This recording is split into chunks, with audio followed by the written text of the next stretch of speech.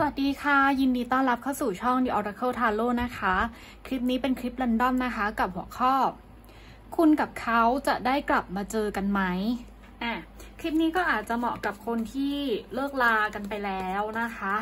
เลิกลาอย่าร้างกันไปแล้ว หรือว่าห่างหายกันไปไม่ได้คุยกันนานแล้ว ขาดการติดต่อกันไปนานแล้วอะไรอย่างเงี้ย มาดูกันว่าจะมีโอกาสได้กลับมาเจอกันอีกไหม อาจจะไม่เหมาะกับคู่ที่รักกันดีอยู่สวีทหวานอยู่ในตอนนี้นะคะ แต่ถ้าอยากดูก็ดูได้แหละ อืม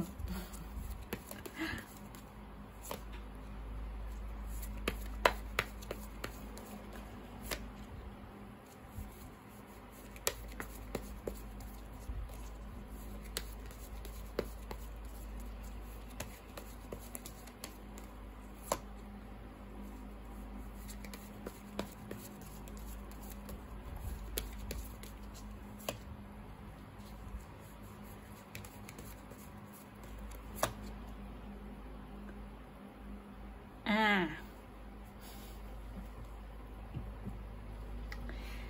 มีโอกาสนะคะ ต้องบอกงี้ว่ามีโอกาสที่คุณกับเขาจะได้กลับมาเจอกัน ในตอนที่คุณเอ่อคืออย่างนี้คุณอะตัวคุณผู้อ่านรู้สึกว่าคุณก็ยังรอเขาอยู่ คุณยังมีเขาอยู่ในใจ คุณยังมีเขาอยู่ในใจ แล้วก็ตัวเขาเอง ก็เหมือนจะอยาก อยากให้โอกาสคุณแล้วก็อยากให้โอกาสตัวเองอะไรเงี้ยหรือว่า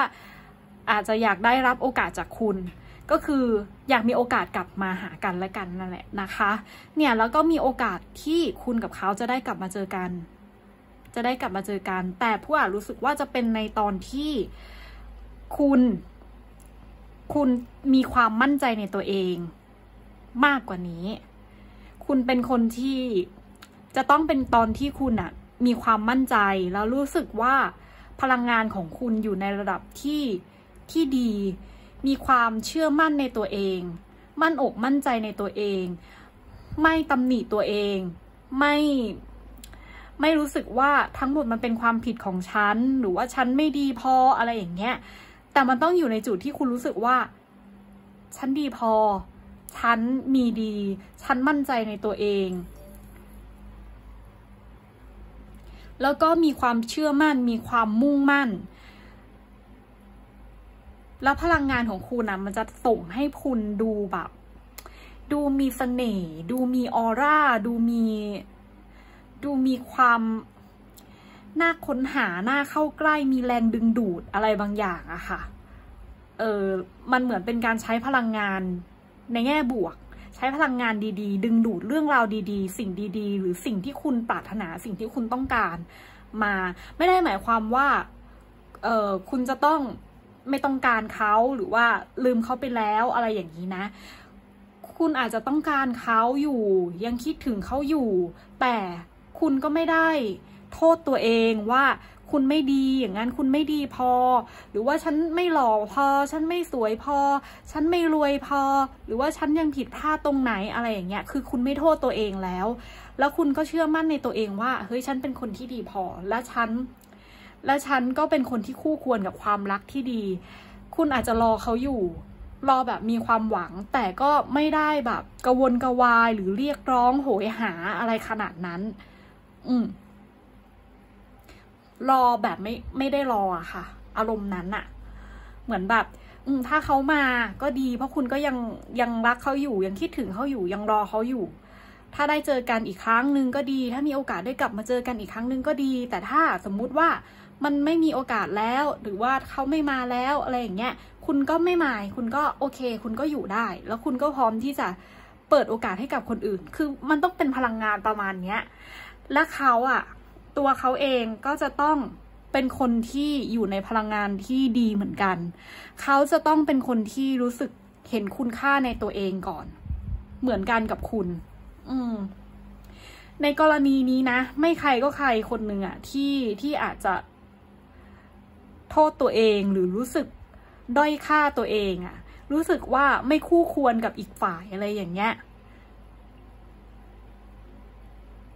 มันอาจจะเป็นเรื่องราวประมาณนี้ก็ได้นะ เช่น ก่อนหน้านี้เขาอาจจะรู้สึกว่าเขาไม่ดีพอหรือไม่คู่ควรกับคุณ เขาอาจจะรู้สึกว่าคุณดีกว่าเขาหรืออยู่ในสถานะที่สูงกว่าเขาแล้วเขาก็เลือกที่จะห่างหายจากคุณไปเลือกที่จะเฟดตัวออกจากคุณ เพราะรู้สึกว่าฉันไม่คู่ควร ไม่ควรจะดึงเขาลงมาอะไรอย่างเงี้ยแล้วมันทำให้ความสัมพันธ์มันไปต่อไม่ได้ แล้วพอเขาหายไปคุณก็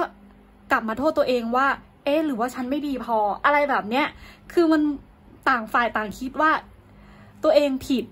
หรือตัวเองไม่คู่ควรตัวเองไม่ดีพอ คุณก็คิดว่าที่เขาทิ้งฉันไป เพราะฉันทำอะไรผิดหรือเปล่า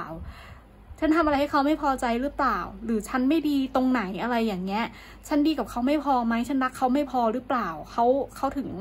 เขาถึงทิ้งฉันไป เขาถึงห่างหายจากฉันไปอะไรอย่างนี้ ส่วนตัวเขาเองเนี่ยผู้อ่านก็มองว่าเขาเหมือนจะคิดว่า คุณดีเกินไป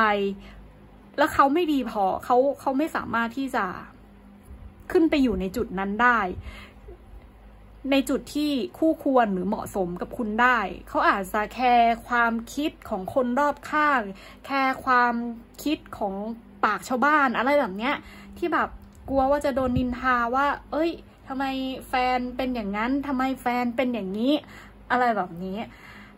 ก็เลยมีการด้อยค่าตัวเองแล้วก็เอาตัวเองออกจากชีวิตคุณอะไรแบบนี้นะคะก็เลยไพ่ก็เลยบอกว่ามันจะต้องเขาอะจะต้องไปปรับ mindset ของเขาใหม่ จะต้องรู้สึกว่าตัวเองมีคุณค่า อืม คุณก็ต้องมีความมั่นใจในตัวเอง เขาก็ต้องรู้สึกเห็นคุณค่าในตัวเองให้ได้ก่อน เขาถึงจะกล้ามาขอโอกาสคุณอีกครั้ง เขาถึงจะกล้ากลับเข้ามาในชีวิตคุณอีกครั้ง อืม อารมณ์ประมาณนี้เลย อารมณ์ประมาณว่าต่างคนต่างจะต้องไปปรับ mindset ของตัวเอง จะต้องไปพัฒนาตัวเองไปปรับปรุงตัวเองให้อยู่ในจุดที่เสถียรอยู่ในจุดที่มั่นคงทางความรู้สึก ต้องเข้มแข็งมากขึ้นต้องสตรองมากขึ้นทั้งสองคนเห็นไหมคะ เป็นไพ่คิงกับไพ่ควีนอะ แต่อาจจะเป็นคนละเรื่อง อืม คุณอาจจะเป็นในเรื่องของความมั่นใจ ความมั่นใจความเชื่อมั่นในตัวเอง ความศรัทธาในตัวเอง ส่วนเขาก็เป็นเรื่องของการเห็นคุณค่าในตัวเอง การคิดว่าเขามีคุณค่ามากพออะไรอย่างเงี้ย หาจุดดีของตัวเองให้เจอ ว่าเขามีดีตรงไหน มีดียังไง แล้วก็ก็ต้องมั่นใจในตัวเองเหมือนกัน เขาถึงจะกล้ากลับมาขอโอกาส หรือว่ากลับเข้ามาในชีวิตของคุณนะคะ แล้วคุณสองคนเนี่ยก็จะมีโอกาสได้เจอกัน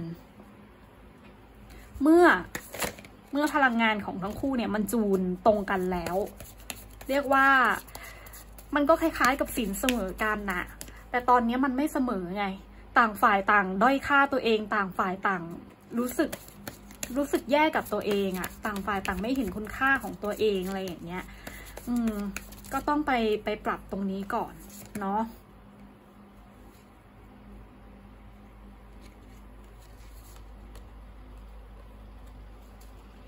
you are ready โอเค บางคนอาจจะพร้อมแล้ว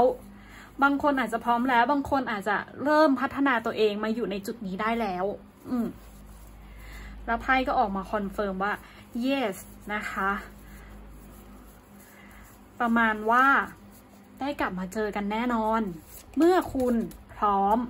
เมื่อคุณพร้อม บางคนพร้อมแล้ว แต่บางคนอาจจะกำลังอยู่ในกระบวนการนะคะ เมื่อคุณพร้อมคุณจะได้กลับมาเจอกัน ไม่ใช่คุณพร้อมฝ่ายเดียวด้วยนะ ต้องเขาพร้อมด้วยนะ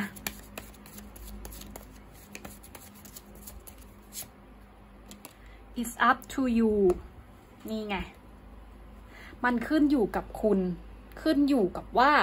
คุณทั้งสองคนน่ะ จะปรับเปลี่ยนตัวเองได้เร็วแค่ไหน จะพัฒนาตัวเองได้เร็วแค่ไหน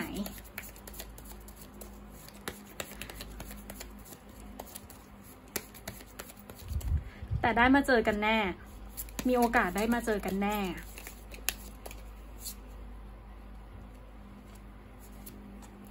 engagement อ่า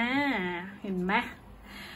มีโอกาสได้มี commitment นะคะ ได้มีความสัมพันธ์ที่ชัดเจน ได้ลงเอยกันแน่นอน โว้ this could be the one คนนี้แหละที่ใช่เลย อุ๊ย อุ๊ย wedding engagement wedding ออกมาขนาดนี้ทั้งมั่นหมายทั้งแต่งงานอะแล้วก็คนนี้แหละคือคนที่ใช่ คนนี้แหละคือคนที่คุณตามหาคือหนึ่งเดียว ก็ประมาณนี้นะคะ อันนี้ก็ตามไพ่เลยอ่านตามไพ่เลยไพ่มันออกมาอย่างนี้เนาะก็ไม่รู้จะว่ายังไงแหละ อืม เพราะฉะนั้นเนี่ยก็ขอให้ คุณทั้งคู่พัฒนาตัวเองได้อย่างรวดเร็วแล้วก็กลับมาเจอกัน อย่างรวดเร็วนะคะ อันนี้ผู้อ่านรู้สึกเหมือนเหมือนเป็นพลังงานของ twin flame เนาะเออมีความเป็น twin flame ที่เจอกันแล้วก็ต้องแยกจากกันเพื่อเพื่อให้ต่างคนต่างไปพัฒนาหรือปรับปรุงตัวเองในส่วนที่ยังขาดตกบกพร่องอะไรอย่างเงี้ย เจอกันเพื่อที่จะทำให้รู้ข้อผิดพลาดข้อด้อยของตัวเองอะไรอย่างนี้ แล้วก็เมื่อพัฒนา ตัวเองได้เรียบร้อยแล้ว ก็จะได้กลับมาเจอกันอีกในเวลาที่เหมาะสมเป็น divine timing นะคะ แล้วก็จะได้ลงเอยได้อยู่คู่กัน ยังมีความสุขอะไรแบบนี้ โอเค ดีนะคะ เป็นเรื่องราวดีๆ พลังงานดีๆ ก็จบการอ่านไพ่แล้วนะคะ ขอบคุณที่ติดตามรับชมรับฟังกัน แล้วเดี๋ยวเจอกันใหม่ในคลิปถัดไปนะคะสำหรับวันนี้ สวัสดีค่ะ